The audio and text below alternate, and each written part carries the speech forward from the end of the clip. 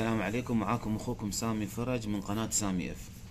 في بعض الأسئلة إن كيف نحن نفرمت ال USB على ال keyboard. أول نقطة أبغى أوضح إنه ما في formatting في ال keyboard حق ال flash memory ولكن في delete تمسح كل شيء اللي فيها يعني بمثابة formatting الحين هاي أنا USB خزنت فيها لاحظوها ال USB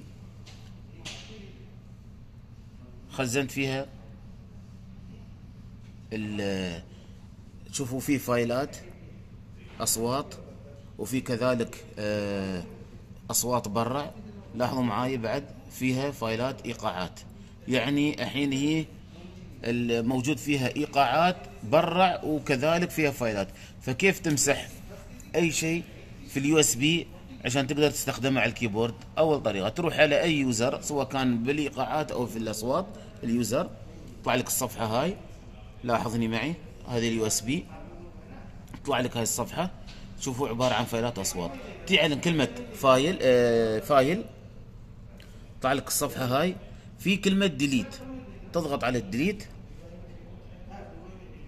خلاص أنت تختار. تبغي تختار يعني مجموعة من الأصوات. مثلا لاحظ معي أبغى أمسح أربع أصوات ما أبغى أمسح ثانيين.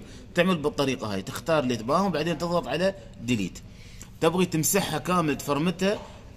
شوف معي فوق في select all شوف كلهم تحولوا على اللون الأبيض انت اخترتهم select all بعد ما تختارهم select all تضغط على كلمة delete تطلع لك الصفحه هاي yes all لاحظ معي الحين؟